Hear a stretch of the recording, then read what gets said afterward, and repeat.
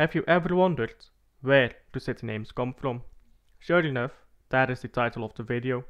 It is also a question I have asked myself in the past.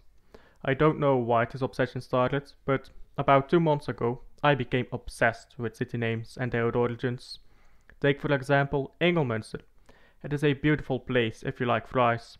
There is literally 5 frituurs at the town centre alone, and it has a population of like 2 stoners and an animated plushie. Back to the town Ingelmunster though. The name derives from the old Dutch words Engel and Munster.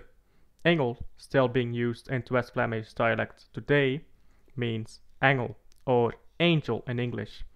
But what about Munster? Well, it's short for this word. Uh, yeah, I'm not going to attempt to pronounce that. It means church. So the name of the city means Angel's Church. And indeed, Ingelmunster is a town that was built around a church. And would you be surprised if I told you that the name of that church translates to Angel's Church? So now we go back to the title of the video. Where do city names come from? Well, they are actually quite literal. Take for another example, Kortrijk or Kortrijk. Its name is derived from Kortrerium, which means between two rivers. And how surprised, then, you might be Kortrijk is located between two rivers. The point I'm trying to make here is that city names are actually quite simple in origin.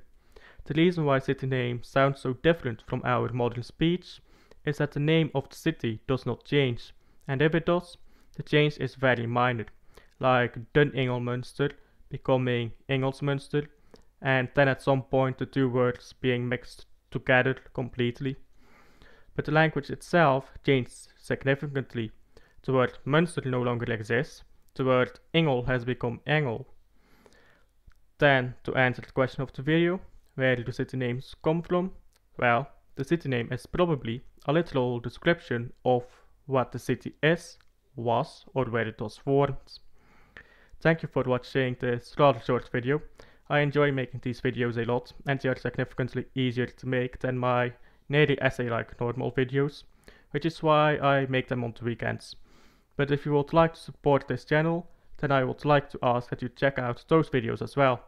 They are in Nobody expects the Spanish Inquisition.